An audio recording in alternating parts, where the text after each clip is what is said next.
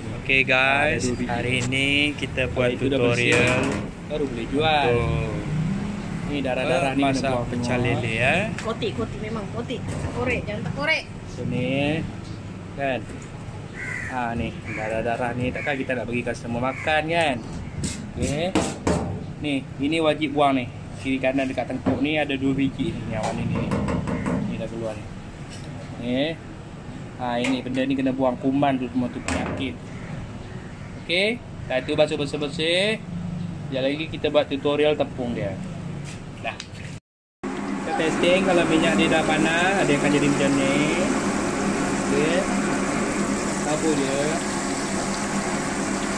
Kurang panas.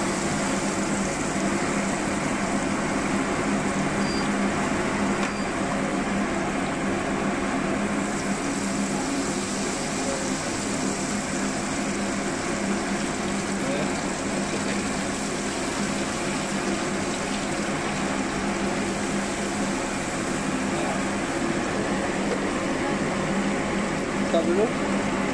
Okay guys, inilah hasilnya terbaik dari ladang. Tamak menjamu selera.